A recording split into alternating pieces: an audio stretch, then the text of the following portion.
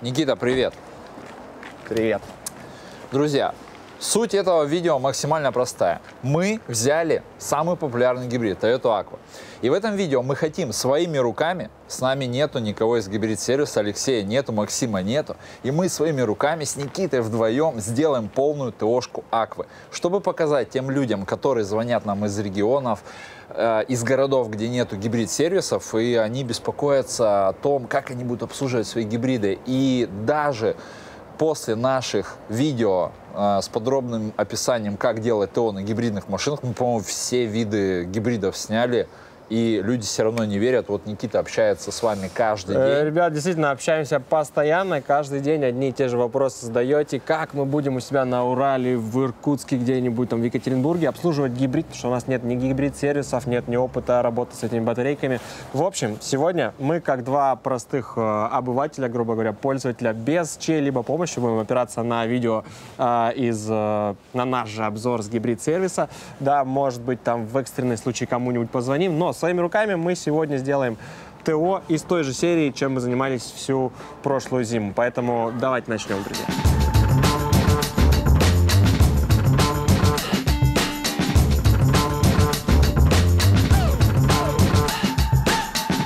А, Итак, ребята нам предоставили один бокс в автосервисе. Мы не будем пользоваться сегодня никаким пневматическим оборудованием. У нас нет подъемника. У нас а, бокс, теплые условия, у нас яма и э, все необходимые инструменты, которые, я думаю, есть э, ну, вообще практически у каждого. Да? Набор ключей, э, набор фильтров необходимых и все технические жидкости, которые нам сегодня понадобятся. Чем мы будем вообще сегодня заниматься, расскажи. Нам нужно поменять масло в ДВС, масло в планетарной трансмиссии, нам нужно поменять э, воздушные салона, воздушные двигателя и посмотреть контакты медные на батарейке. Хоть у машины небольшой пробег, там что-то 18 тысяч, но у нас же эксперимент, то есть сможем ли мы все сделать, то, что мы делали э, в гибрид-сервисе по этой машине, сможем ли мы сделать в кустарных условиях, вот, ну, типа в продвинутом гараже. И вы в своем городе, типа, сможете ли вы сделать в обычном сервисе? Вы, если насколько помню, еще заслонку чистили. Да, точно. Это же классика. Дроссель всегда. Если ты открываешь капот, то, ну, как бы мимо дросселя пройти нельзя. Друзья, в общем, так как это чистой воды эксперимент, э, и интересно, за сколько мы справимся. Вот, все, начинаем. Э, кладу телефон. Вот. Давай начнем Что с мотора. А, я Я ноль, напоминаю, я ноль вообще, поэтому Ну, я ты у Никиты. справишься с заменой воздушного фильтра, скажем? Да, попробую. Вот, начинай с этого. Перчатки вон там. Я Ага. пойду сливать масло. Так, это электрические предохранители. А где он? Никита, Кто? а где фильтр? Старый. Старого нет? В смысле, это новый? Это новый, старого нет. В смысле, ты вытащил и нет фильтра? Нет фильтра. Тачка пришла без воздушного фильтра? Классика. Ну не, я тебе серьезно, я Типа, открыл. стоит 300 рублей. Ну, я не знаю. Э, Две минуты у нас сделано, поменен фильтр э, пока на моторе. Я думаю, девушки вряд ли будут смотреть этот обзор. Потому что ну, максимально неинтересно для них будет. А, в общем, для начала мы поменяем масло. Здесь особой сложности никакой нету, но защитку надо открутить. И постараться так, чтобы вот все болтики, которые мы выкрутим, чтобы они у нас не потерялись. Ну что там, Никит? Ага. Ну мне пока делать нечего. Я... По спорту? Да, немножечко. Ну что, светлое, да? Да, масло чистенькое. Тебе надо снять вот этот хомут пассатижами. Ага. Вот так вот, чап, поднять назад. Серега тебе подскажет, кстати говоря. Потому что он тоже в теме. Самое главное запомни- запомнить, что откуда вытащили, и ничего не забыть. Потому что вот из-за таких штук может быть подсос воздуха, машина начнет троить, чековать, Ага. какие-нибудь ошибочки нам зажигать.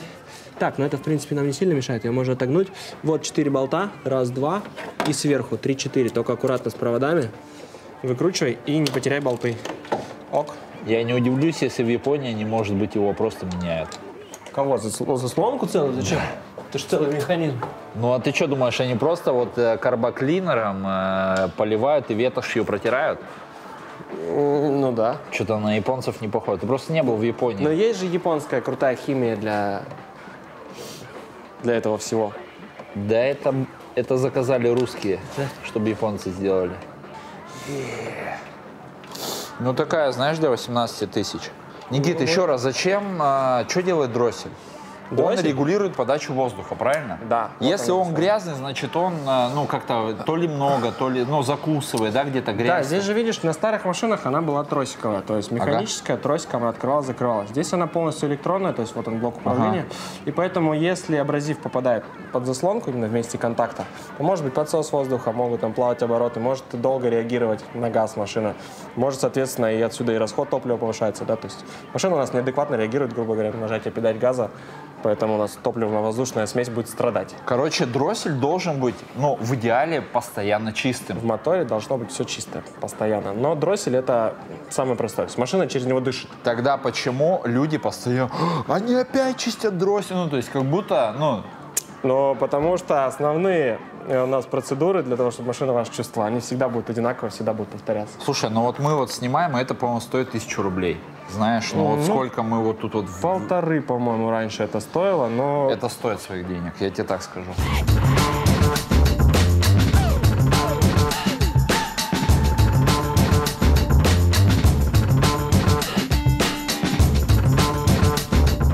Достаточно?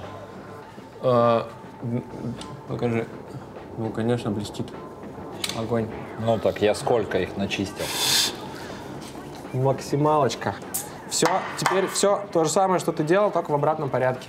Ребят, смотрите, я снял масляный фильтр. И могу вам сказать, что... Слушайте, Ты его точно снял? Не достал грязный из этого? Из э, этого, как его? из поддона? Да. Да. Э, нет, масло, ну, темное, я не знаю, видно, нет на видео, но абсолютно прям, как сейчас, как профессионал буду говорить, а, однородная жидкость по запаху, ну, блин, ну пахнет маслом. Никакой стружки, ничего нету, поэтому 18 тысяч пробег. Что, у машины. 0,20 будем заливать? Да, будем заливать 0,20 гибрид.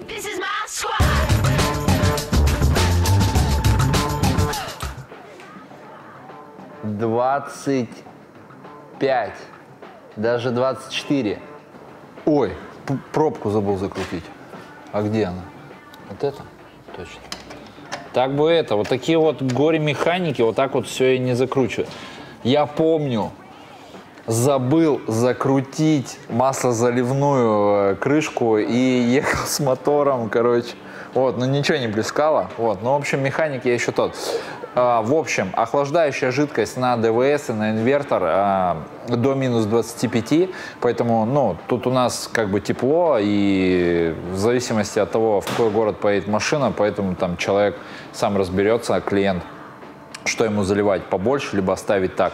Я вообще до того, как мы начали возить тачки в гибрид-сервис, и Алексей мне рассказал вот это вот, вот эту подзорную трубу показал, я вообще в своих машинах никогда не проверял, сколько у меня там охлаждайка, ну, может э, э, не замерзать. Вообще, я первый раз только у ребят узнал, там, меньше года назад. А, Во Владивостоке минус 25, у меня кран был, все нормально. Все машины у меня были, ну, типа, в пределах там 25. Сай тоже, все то же самое, поэтому нормально. так, Никит, что мы сделали? По- э, сняли, помыли дроссель, слили бан, э, этот, э, масло. с Слили ДВС-а, масло с ДВС и слили масло с коробки. Проверили антифриз. С коробки, да, слили масло? С коробки, ну, сливается в данный С момент. планетарной трансмиссией вообще-то.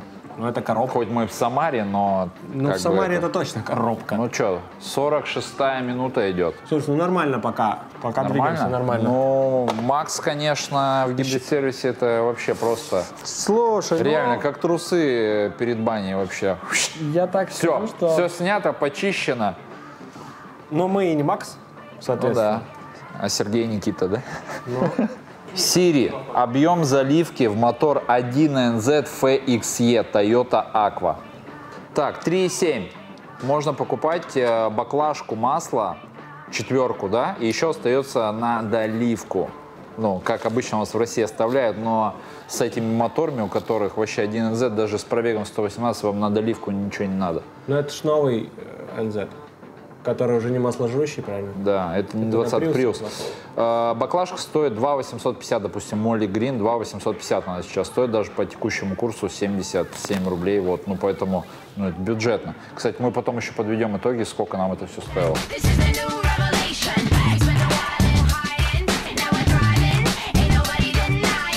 Масло, друзья, мы залили Молли Грин. Молли Грин гибрид, э, вязкость 0В20.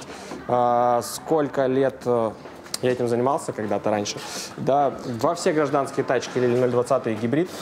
Гибридный, я имею в виду. Никаких проблем не было, поэтому все будет хорошо. Я лил во все свои машины. Да? Ну, даже в Лексуса. Ну вот, мы все помним эту историю.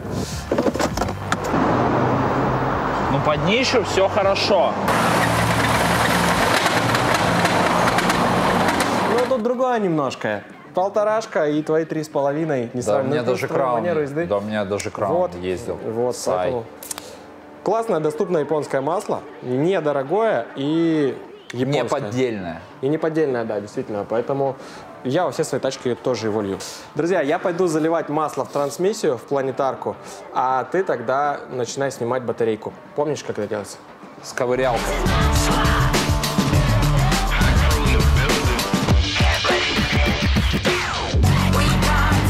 Около трех с половиной литров у нас объем, поэтому нам понадобится жидкость. Вот, мы будем заливать жидкость TCL.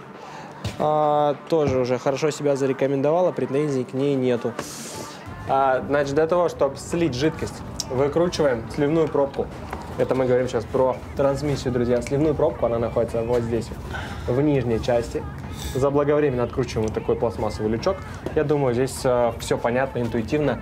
И, ребята, не забывайте, в какой век мы живем. YouTube полон всяких роликов, обзоров и так далее. Поэтому смотрите, я думаю, разберетесь. Вот. И заливная пробка, ребята, она у нас находится вот здесь вот. С местом сочленения привода с... э, В общем, там, где привод заходит, друзья, рядышком э, пробка у нас заливная. Поэтому вам понадобится шприц. Вот такой вот классный нам ребята из Гринавто одолжили. Или любой практически просто большого объема. Шприц вам подойдет. Возьмите шланг, главное, побольше, чтобы все это не расплескать по всему днищу. Все, погнали. Вообще около 3,5 литров должно войти, но у нас тут все просто. Пока не польется у нас заливной. А, ну что, ребята, из сделанного мы поменяли жидкости. Поменяли моторное масло, поменяли масло в трансмиссии АТФ ВС. Мы залили туда тесельку и Молли Грин в мотор. Посмотрели уровень кристаллизации, то есть степень замерзания антифриза в двух контурах 25 градусов. Менять не будем, но посмотрим, куда машина поедет. Если что, порекомендуем клиенту. Так, все, все масла залили, все собрали, почистили дроссельную заслонку. И нам осталось только разбор батарейки. Посмотрим, в каком состоянии у нас находятся контакты. Если они окислились, мы их поменяем чем у нас сейчас и занимается Сергей. А я пока немножко приберусь, чтобы мне потом а, ребята сервиса по голове не давали за свои инструменты пачками. Ребята, есть еще один нюанс, без которого вы в Самаре, ну или где там вы будете это делать, не справитесь с таким ТО.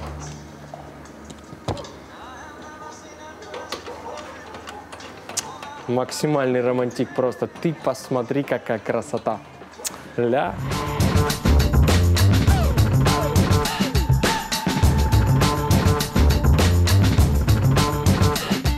Ну что, друзья, вот он самый страшный элемент, так скажем, сердца гибрида. Это батарейка. Никель металл гидрид, правильно здесь? Да. Вот. Давайте глянем, из чего она состоит. В общем, здесь есть следы окисления э, контактов. На что это влияет? Это влияет на зарядку и разрядку элементов батареи. То есть они разряжаются, заряжаются неравномерно, батарея портится и отдает тоже, ну, в общем, неэффективно. То есть, соответственно, у вас ги- гибрид, в общем, самое, наверное, главное в этой машине у вас работает а, неправильно. Вот, и вроде бы пробег, да, 18 тысяч, но видно, где-то возле моря бегала машина, и поэтому, в общем, требует а, их замены. Их можно, я уже забыл, можно посмотреть а, предыдущую серию про Аку, как мы делали гибрид-сервисе, они называют состав, в котором они а, очищают, отмачивают эти контакты. Вот, я заехал к Алексею, взял уже очищенные вот такие вот, они медные, по-моему, да, вот эти контакты, они уже очищены, то есть мы сейчас скрутим те, которые под замену, и я потом Алексею отвезу их, и они их почистят. Вот. И спасибо Алексею Гибрид-сервису за то, что предоставил нам уже чищенные контакты. Вот, в общем, процедура, она там, ну, тоже там стоит каких-то денег в гибрид-сервисе, но, 5 тысяч рублей, я помню. 5 тысяч рублей, но это вот с прошлого обзора. но сколько разбирать? Снять, да, снять, поменять, ну, почистить, ну, и почищенное поставить. Они же тоже, да, замачивают и ставят уже готовые. А свои забирают, снятые забирают и потом... Ну, в общем, это надо делать. Это надо делать. То есть, и когда ты покупаешь гибридную тачку на никель-металл гидриде, не на литионе, это обязательно. То есть, Слушай, ну это не так сложно, я могу сказать. Просто, ну, надо времени выделить. Буквально сколько тебе заняло снять ее? Ну, минут, наверное, 30-40. Снять сидушку, снять э, батарейку. И сейчас мы открутим, я так полагаю, да, по две гаечки, которые держат контакт. Да. Меняем саму пластинку и все. А чистить, я думаю, что их можно, типа вот такого А. же баллончика, есть только очиститель контактов. они их замачивают чем-то. Ну вот подобная же химия, которая для очистки контактов и так далее. Всякие радиолюбители, я думаю, сразу же догадаются здесь как бы. Японские контакты точно такие же, как и русские.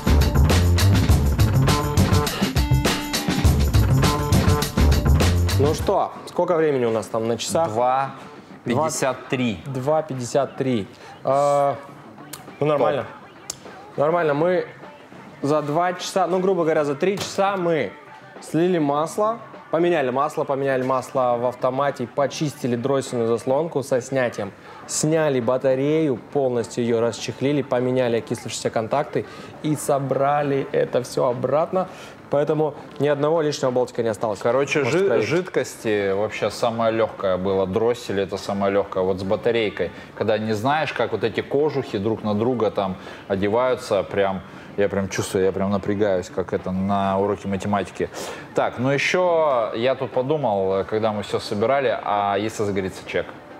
Если она заведется и загорится чек, Так, то ладно, это я пошел половина запускать. победы уже. Так, возле мотора.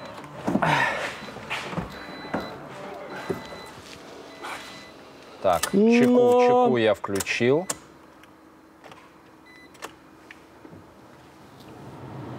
Аква это что, вода получается? Реди. Ну все. Все, чек не горит, все окей. Победа.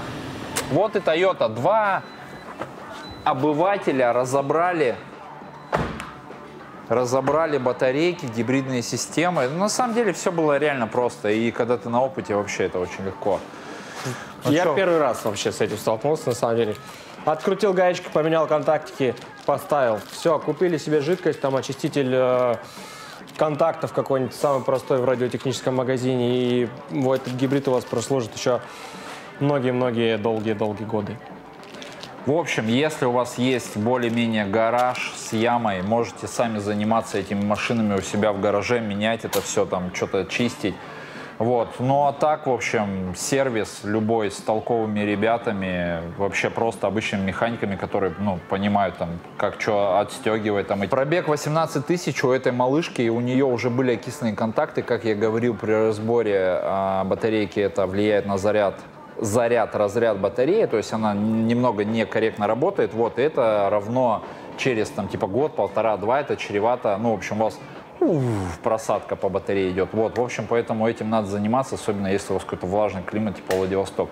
Вот, в общем, друзья, покупайте гибриды, ничего сложного нету, вот, э, я думаю, это видео показало, что Toyota даже там в 17-18 году автомобилях гибридных, которых боятся в России, в общем, ничего сложного нет. Ребята, благодарочка большая, респект э, автосервису Green Auto, который нам любезно предоставил. Абсолютно бесплатно, это никакая не реклама. А, Ребят просто сказали, ребят, хотите обзор снять, пожалуйста, заезжайте, бокс ваш. Считаем расходы. А, бокс нам предоставили бесплатно. Считаем просто расходники, литры, воздуханы эти все.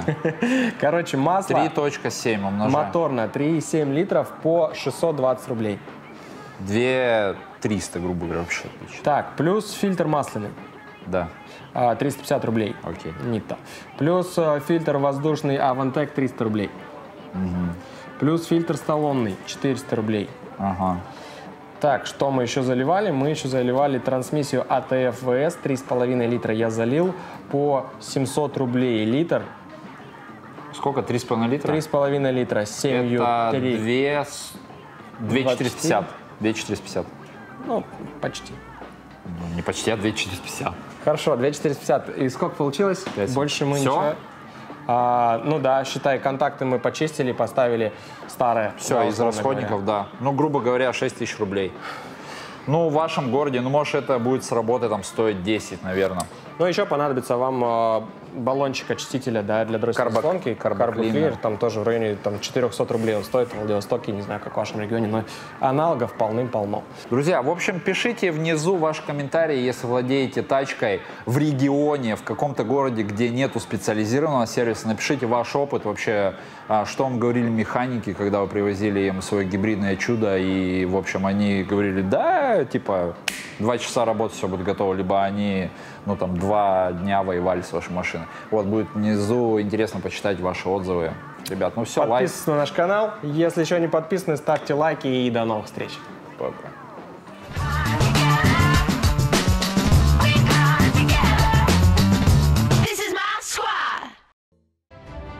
Компания «Сферокар» предоставляет полный комплекс услуг по подбору, доставке, растамаживанию и отправке по России автомобилей с аукционов Японии.